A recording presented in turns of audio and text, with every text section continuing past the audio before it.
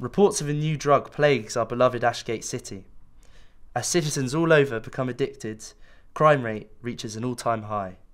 The question's on everyone's mind who is behind all of this? And who is going to stop them?